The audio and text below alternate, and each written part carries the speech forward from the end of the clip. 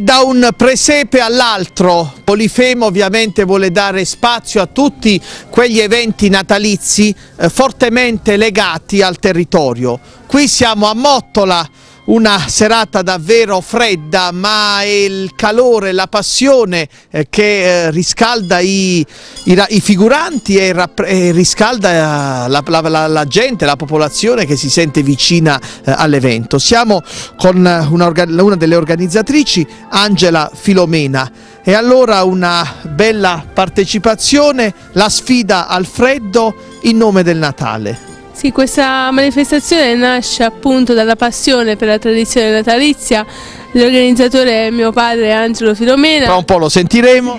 Con la collaborazione anche dell'Associazione Canzone Mottolese e alcuni dei, dei, cittadini mottolesi che eh, ci aiutano nella realizzazione della manifestazione come Maria Fortunato, Renato Caro Tenuto e anche tutti gli altri cittadini mottolesi anche del centro storico eh, con la partecipazione anche del contributo comunale e tutti i cittadini di Mottola che hanno contribuito alla realizzazione appunto. Intanto diciamo dove si eh, snoda, dove si eh, svolge questa, questo presepe vivente? Allora, questo è il centro storico di Mottola chiamato anche Schiavonia, è un percorso eh, che appunto attraversa il centro storico proprio nella parte centrale.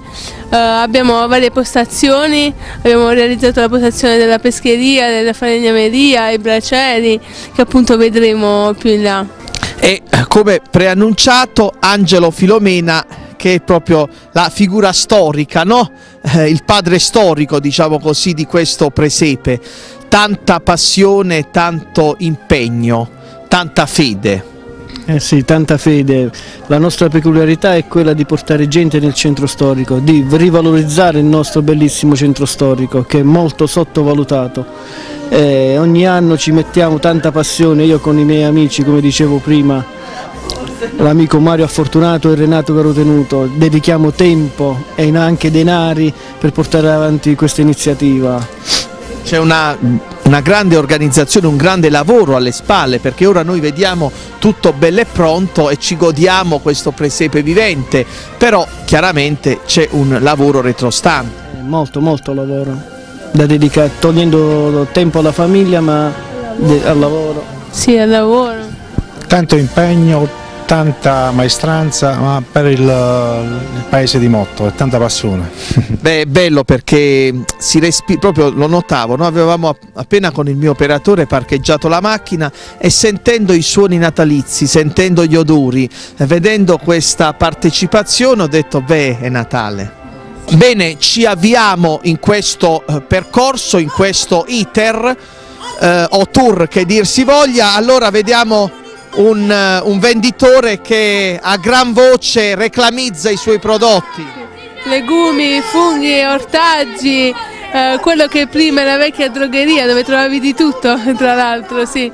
Con l'entusiasmo di questi ragazzini motoresi che proprio rappresentano l'originalità dei vecchi mercati. Allora questo mercante che urla, eh? Questo giovane mercante.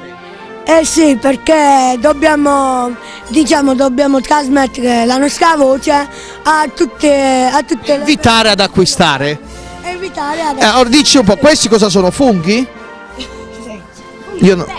Di pezza, vabbè, diciamo funghi. Questi altri funghi sì. e i vari prodotti. Riso, ceci, riso e ci sono anche vari tipi di frutta come il melone. Eccoli qui, vedete?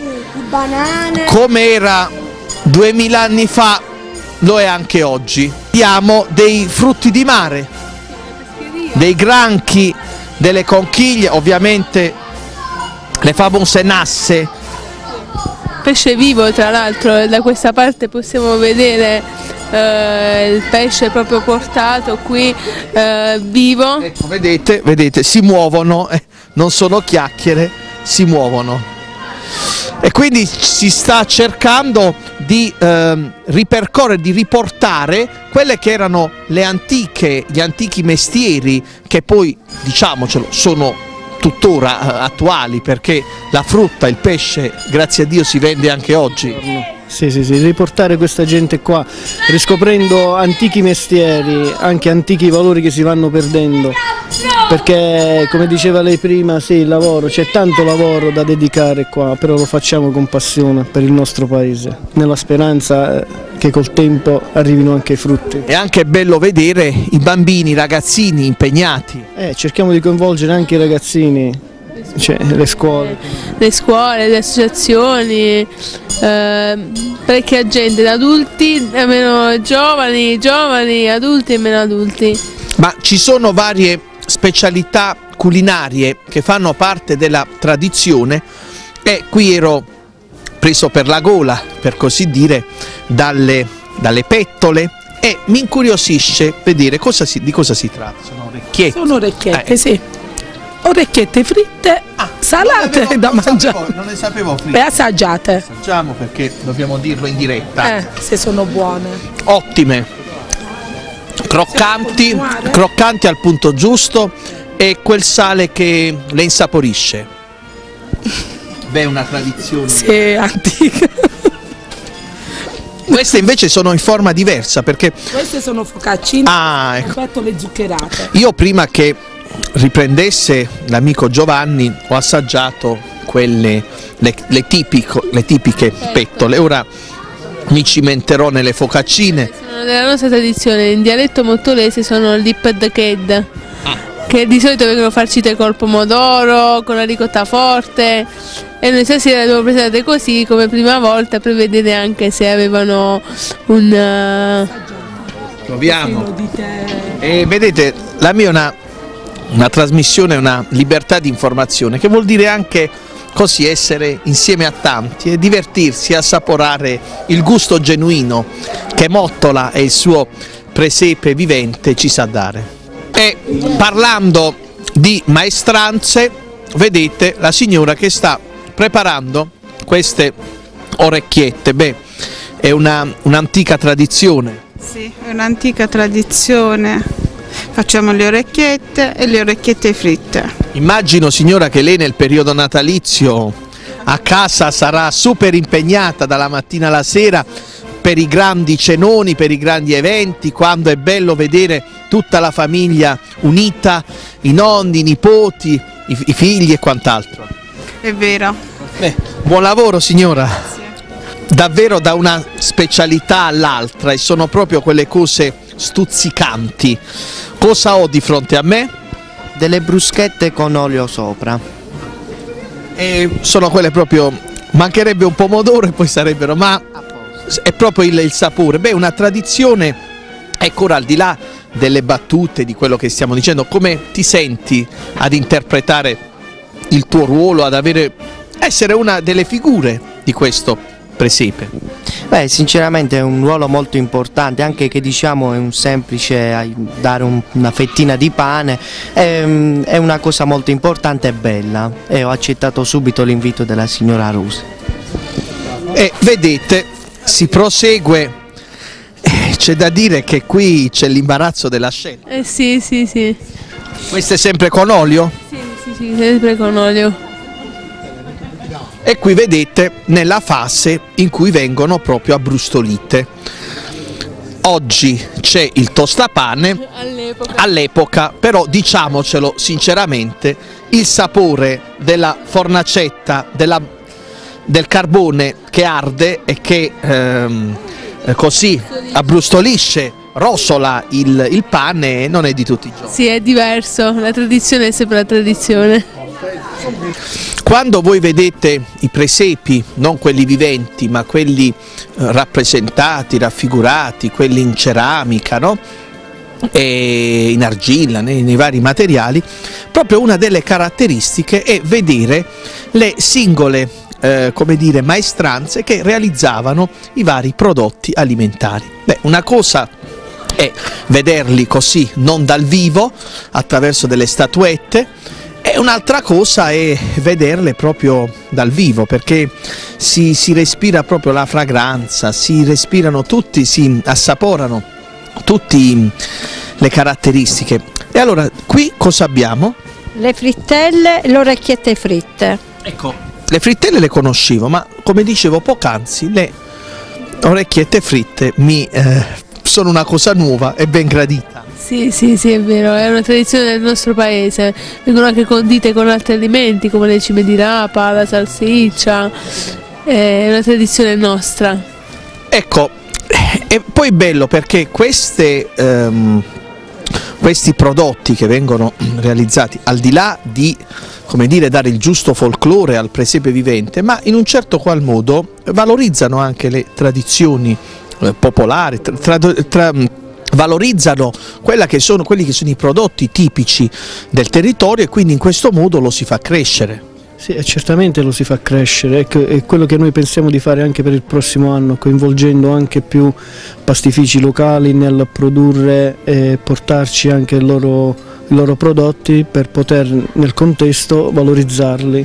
Minando, inoltrandoci tra i vicoli, l'amico Giovanni Rogante, che ora intervisteremo, l'anima eh, proprio come organizzatore di eventi, la sua arte e cultura, la sua associazione, mi ha indicato, io non sono un grande conoscitore del posto, un, un esperto di tradizioni, eh, di, eh, diciamo, cioè non, non, non, sia modesto, un, un, un, cultore quindi un esperto di tradizioni locali, ecco, di tradizioni locali, ecco, Bottola ha tanto da offrire.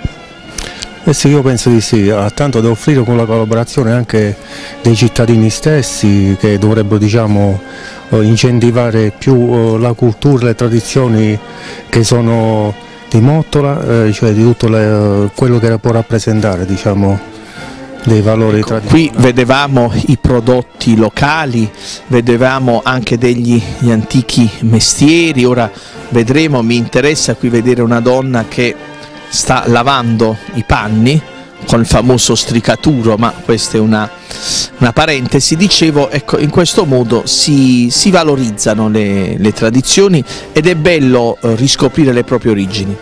Sì, magari continuando diciamo, anche tutti gli anni, come già stiamo vedendo, però magari si può, fa si può fare ancora di più. E a Mottola non c'è arte e non c'è cultura se non c'è Giovanni Rogante. Giovanni Rogante, presidente dell'Associazione Arte e Cultura, tanto amore per il territorio, tanta, tanto attaccamento alle, alle proprie origini.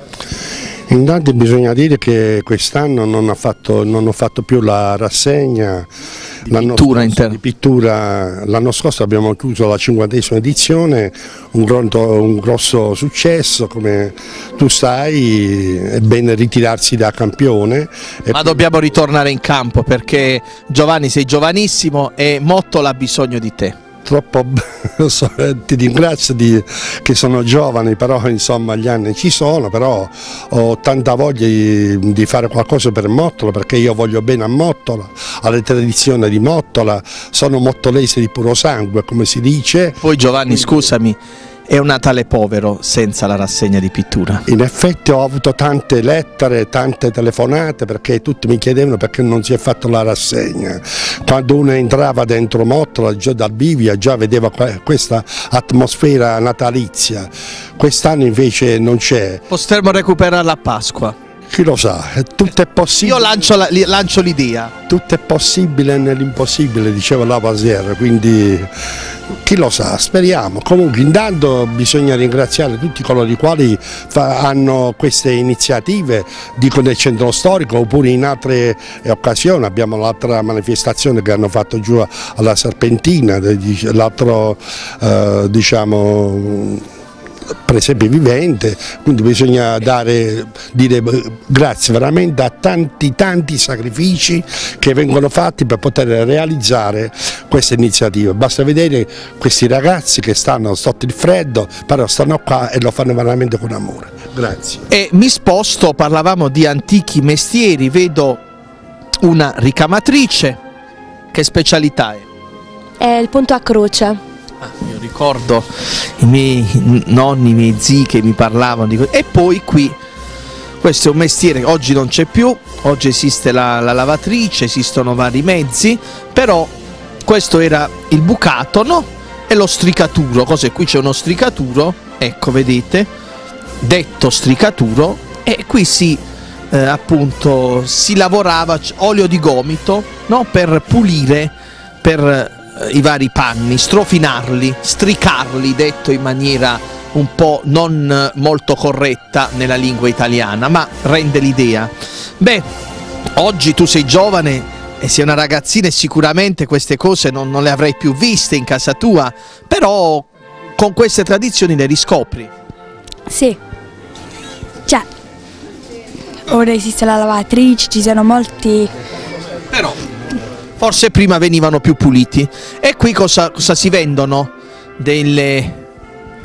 Ehm, stiamo stendendo i panni, visto che lei lava, io stendo e piego i panni. È un angolo, diciamo, più moderno, l'oggettistica. Sono davvero dei, dei prodotti, scusate, dei manufatti che eh, rendono l'area natalizia. Sì, la signora vi saprà indicare meglio di me come vengono realizzate con quei tessuti, quelle che erano prima le decorazioni si facevano in casa con le piccole cose natalizie, i cartoni, le stoffe, ora le realizziamo più belle, però si fanno. Ecco, allora ce ne illustri qualcuna perché qui c'è tanto lavoro, tanto artigianato. Sì. Eh, sì, sono tutte cose fatte da me, sono fatte artigianalmente, io cucio i vestiti, compro i tessuti, cucio i vestiti, mi dipingo le testine, eh, mi realizzo le bamboline eh, e poi dalle bamboline faccio... Proprio belle, vedete? Questo uno lo, lo mette in un... eh, anche in cucina, in un... Sì, sono dietro porta, sono dietro porta, si possono appendere e si arreda la casa, sono d'arredo. E creano un clima natalizio festoso e gioioso. È bello vedere che ci sono anche giovani, nella fattispecie sono dei ragazzi, degli scout, che si dilettano nel fare le orecchiette, in genere è una cosa che fanno le nonne, però certe tradizioni, vedete, poi vedere, è bello vedere i ragazzi coinvolti. Sì, sì, sì, quest'anno dobbiamo ringraziare anche gli scout per la loro collaborazione.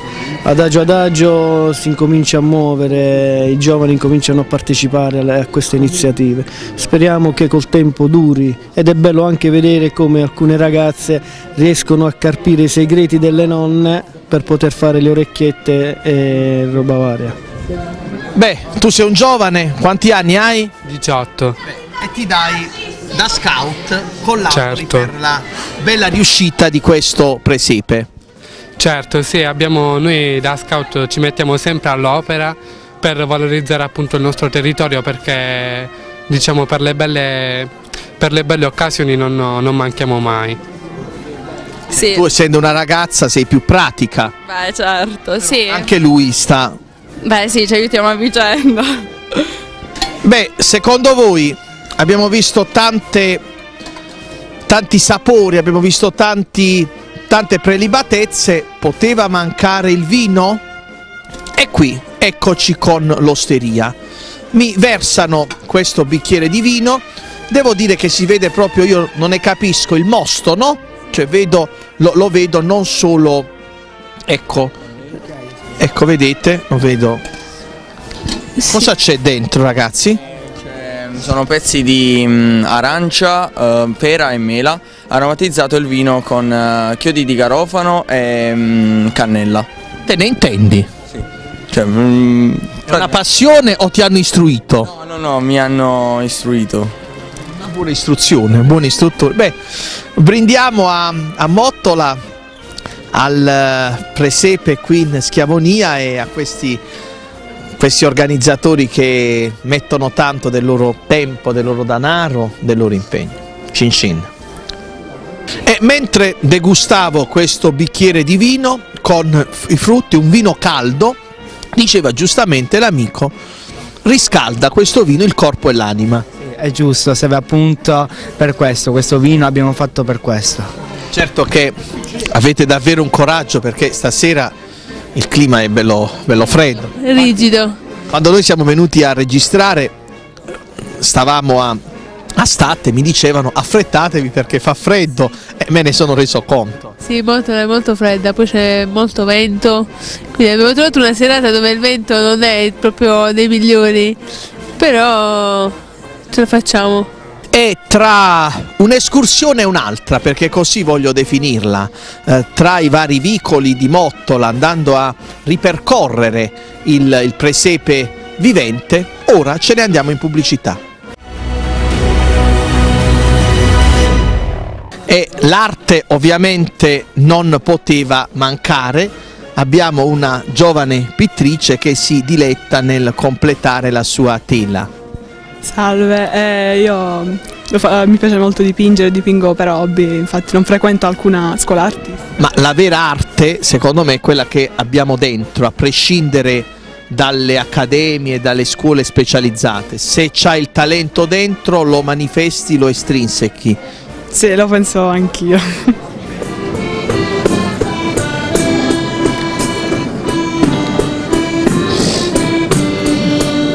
E un'altra bottega, cosa si vende qui? Si vendono candele. Si vendono candele. Candele rosse ovviamente è il simbolo del Natale, proprio vedete già quando inizia il periodo natalizio nei negozi la prima cosa che si, che si vede è, è il rosso, il, il rosso proprio il colore natalizio, come queste candele.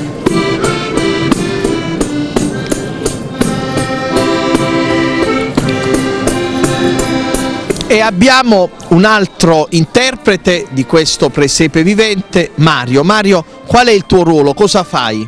Eh, batto. Batti il ferro? Sì, a me mi piace tanto perché ci sono tanti lavori. Ecco, vedete Mario realizza questo, è il- proprio il, colui il quale batteva il ferro, ora non si vede più, ma era un mestiere tipico dell'epoca.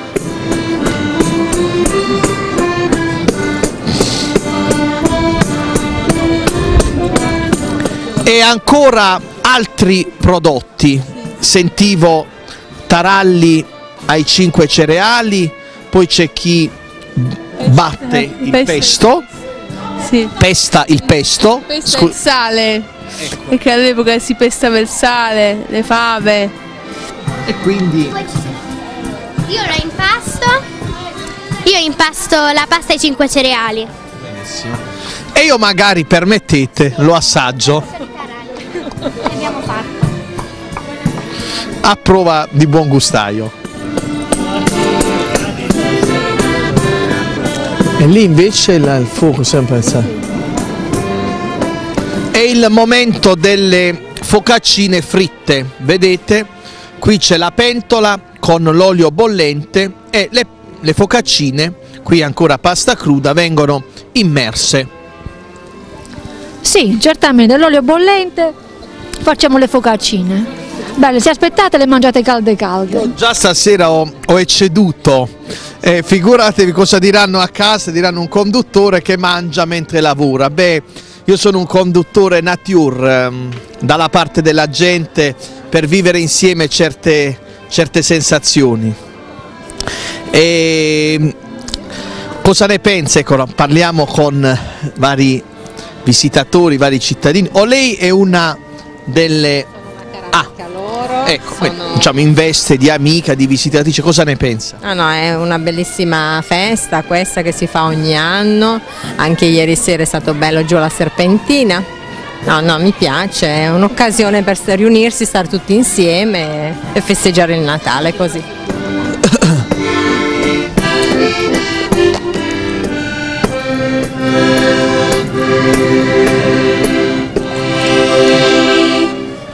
Ci sono anche dei giochi pirotecnici, dei giochi di, di fuoco. Devo dire che queste ondate di calore questa sera non possono che farci bene. Sì, queste sono le fochiste e artisti di strada di Mottola.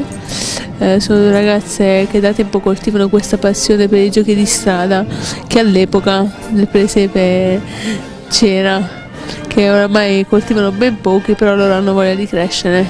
Ora le intervistiamo. E allora ragazze, sperando non mi bruciate, più di qualche politico tarantino, qualche parlamentare vorrebbe stare al posto vostro per bruciarmi, ma grazie a Dio voi non siete così. Beh, una grande passione, anche una, una certa perizia, perché non è semplice. Col fuoco o sei capace o lo conosci o ti fai male, ti bruci. Eh beh, certo, eh, richiede tanto allenamento ovviamente, come ogni cosa, come ogni passione ovviamente. Com'è nata questa passione? Eh, tramite conoscenti ovviamente, amici di amici, tramandate diciamo tra amicizie. E ora ci avviamo al momento più suggestivo, più toccante, perché quando chiaramente si, si parla di presepe, si parla di natività, beh, il pensiero, qual è il primo pensiero? Quello che va ovviamente alla grotta e quindi a Maria, a Giuseppe, a Gesù bambino. E io mi addentro in questa umile grotta che è proprio il, il segno, il, il significato del Natale. Eh, Gesù che non si veste da re, ma si veste da, da poveretto, per così dire, proprio per insegnare al mondo eh, l'umiltà. E qui abbiamo in attesa che nasca il bambino, vedete ancora la, la cuglia, la culla è spoglia, però abbiamo già pronti Giuseppe e Maria. Giuseppe ovviamente il papà di Gesù, il falegname, un ruolo importante il tuo. Sì. Un ruolo. Indubbiamente sei anche un po' emozionato, no? Sì. Il primo anno che fai questo? Anno, se non mi è mai capitato. Come ti è venuta questa idea? Sono stati gli amici a invogliarti? Mi hanno detto di, di provare a farlo, l'ho fatto. E qui abbiamo Maria, una giovane interprete della, della Madonna che già è pronta, vedete, ha, ha preparato tutto in attesa che arrivi Gesù bambino. Sei emozionata? Di qualcosa, non aver paura, è una bella soddisfazione per te. Vabbè, è emozionata, la comprendiamo, guardate però come è stata allestita la culla, tutta in legno, la paglia, vedete? Qui c'è dell'ovatta e qui Gesù dovrebbe essere, dovrebbe così essere posizionato e così essere adagiato e quindi cullato è il caso di dire ma, ma vedete ci sono anche delle guardie dei giovani guardiani li vedete come sono ben armati eh? quanti anni hai? 11. ti piace questo ruolo? Sì, è il primo anno che lo faccio e mi sono già appassionato. quindi oramai lunga tradizione pensate come ti chiami? Francesco. Francesco ha 11 anni e tra, tra decenni e decenni vedremo Francesco in un ruolo sempre più, più grande. Forse anche nel ruolo di Giuseppe una volta. Vedete com'è ambizioso? Bravo, bravo. E qui ne abbiamo un altro. Come ti chiami? Antonio. Antonio, anche tu, un guardiano, sei a guardia del, del presepe di Gesù bambino che presto nascerà. Antonio, ti piace questo? Ti vedo un po' sei emozionato, infreddolito soprattutto. Prima volta. Domani a scuola? Sì. Eh, vedete, vedete il sacrificio questi bambini, domani devono andare a scuola e ciò nonostante però vogliono dare il proprio contributo. Beh, è una bella manifestazione perché poi io ho 44 anni, non sono un bambino, sono oramai sto invecchiando, però ci si sente bambini, ci si sente, si sente quel sapore antico, no? Il sapore del Natale. Oggi Natale in molti casi non si respira, Non si respira. è un qualcosa di commercializzato, c'è la, la- la corsa ai regali, ma non al regalo per dare qualcosa di proprio a un'altra persona, ma quasi come se fosse una cosa che si deve fare e basta. Sì. E invece qui si scopre proprio quell'animo puro, quell'animo del bambino, ecco, vedere questi bambini che fanno questo sacrificio, beh, indubbiamente è stata una bella manifestazione, molto partecipata, molto semplice. Sì, io ringrazio tutti per la partecipazione, ragazzi, amici, sono venuti numerosi. Eh, una bellissima Questa è la quarta edizione, l'anno scorso un incidente ti ha messo knockout, però grazie a Dio siamo tornati più forti di prima e, e sarà la quarta, ci sarà la quinta, la sesta fino all'infinito. Dicevamo una manifestazione riuscita, una manifestazione eh, riuscita perché semplice, perché, la sempli- perché il Natale vuol dire semplicità. Semplicità. Eh, noi usiamo molto l'umiltà e la semplicità, cioè il nostro motto, essere umili e semplici nelle nostre cose. Vorrei salutare Avvic- facciamoli avvicinare gli amici. i collaboratori Mario, Renato, che con noi hanno collaborato per la riuscita della manifestazione. Speriamo di, di portarla avanti la seconda, la seconda volta e il prossimo Bene, vicino alla natività, agli amici, io voglio innanzitutto ringraziare Mottola per questa bella iniziativa. Si conclude qui eh, Polifemo ed è l'occasione per eh, ringraziare voi tutti, amici da casa, per l'affetto, per il coraggio che dimostrate nel seguirci. Coraggio perché Polifemo è una trasmissione libera, è una trasmissione che molte volte si mette conto, molte volte, tante volte, sempre si mette contro i poteri forti, ma vedere il seguito, il successo, la partecipazione, beh questo ci, ci rincuora. Noi siamo dalla parte della gente, siamo dalla parte ecco, di, questa, di questa comunità che vuol difendere se stessa, che vuol riscoprire e valorizzare le, le tradizioni. Questo è Polifemo, ma sono emozionato anch'io, non vi dico altro che il Natale vi porti quelle soddisfazioni innanzitutto personali, quelle soddisfazioni che sognate, che agognate, che avete nel, nostro, che avete nel vostro cuore. Auguri a tutti, un felice Natale. E Polifemo non, non si ferma, ci vedremo, ci vedremo anche il, il 30 e che dire, non è venerdì se non c'è Polifemo. Polifemo, l'informazione libera della città. Buonasera.